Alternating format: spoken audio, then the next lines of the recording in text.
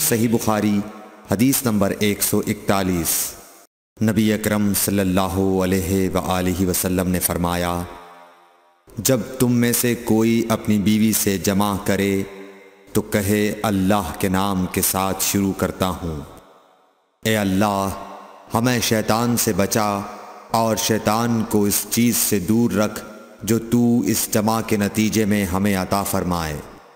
ये दुआ पढ़ने के बाद जमा करने से मियाँ बीवी को जो औलाद मिलेगी, उसे शैतान नुकसान नहीं पहुँचा सकता। सही बुखारी, हदीस नंबर 142 रसूल करीम सल्लल्लाहु अलैहि वसल्लम, जब कज़ा हाजत के लिए बैतुलखला में दाखिल होते तो ये दुआ पढ़ते। ए अल्लाह, मैं नापाक जिनों और नापाक जिन्नियों से तेरी पनाह माँगता हूँ। सही बुखारी, हदीस नंबर एक सौ तिरालीस। इबन अब्बास रदी तहों से रिवायत है कि नबी करीम सल्लल्लाहु अलैहि वसल्लम पखाने में तशरीफ़ ले गए। मैंने पखाने के करीब आपके लिए वज़ू का पानी रख दिया। बाहर निकलकर आपने पूछा, ये किसने रखा? जब आपको बतलाया गया तो आपने मेरे लिए दुआ की। और फरमाया, ए अल्लाह, इसको दीन की समझ अता फरमाइयो। सही बुखारी, हदीस नंबर एक सौ चवालीस। रसूल अल्लाह सल्लल्लाहु अलैहि वसल्लम ने फरमाया कि जब तुम में से कोई पखाने में जाए तो किबले की तरफ़ मुँह करे, न उसकी तरफ़ पुश्त करे, बल्कि मशरक़ की तरफ़ मुँह कर लो या मगरिब की तरफ़। सही बुखारी, हदीस नंबर 145 लोग कहते थे कि जब कज़ाए हाजत के लिए बैठो तो न कबले की तरफ़ मुँह करो, न बैतुलमुक़दस की तरफ़। ये सुनकर अब्दुल्ला बिन उमर रदल्ला ने फरमाया कि एक दिन मैं अपने घर की छत पर चढ़ा तो मैंने आ हज़रत सल्लल्लाहु अलैहि वसल्लम को देखा कि आप बैतुलमुक़दस की तरफ़ मुँह करके दो ईंटों पर कज़ाए हाजत के लिए बैठे हैं। फिर अब्दुल्ला बिन उमर रदल्ला ने वासे से कहा कि शायद तुम उन लोगों में से हो जो अपने चूतड़ों के बल नमाज़ पढ़ते हैं। तब मैंने कहा, अल्लाह की कसम, मैं नहीं जानता कि आपका मतलब क्या है। इमाम मालिक रहमतुल्लाह ने कहा कि अब्दुल्लाह बिन उमर रदल्ला तहों ने इससे वो शख्स मुराद लिया जो नमाज़ में ज़मीन से ऊँचा न रहे, सजदे में ज़मीन से चिमट जाए। सही बुखारी, हदीस नंबर एक सौ छियालीस।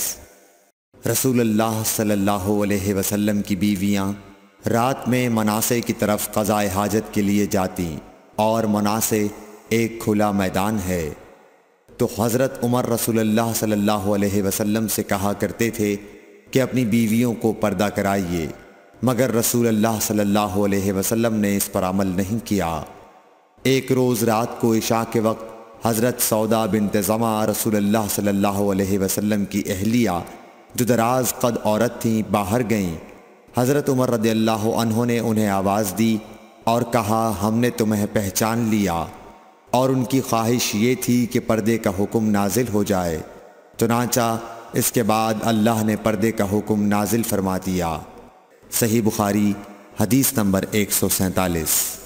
आप सल्लल्लाहु अलैहि वसल्लम ने अपनी बीवियों से फरमाया कि तुम्हें क़ज़ाए हाजत के लिए बाहर निकलने की इजाज़त है। सही बुखारी, हदीस नंबर एक सौ अड़तालीस।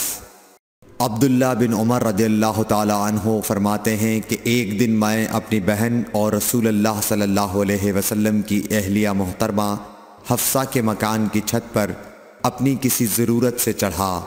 तो मुझे रसूल अल्लाह सल्लल्लाहु अलैहि वसल्लम क़ज़ाए हाजत करते वक्त क़िबले की तरफ़ पुश्त और शाम की तरफ़ मुँह किए हुए नज़र आए।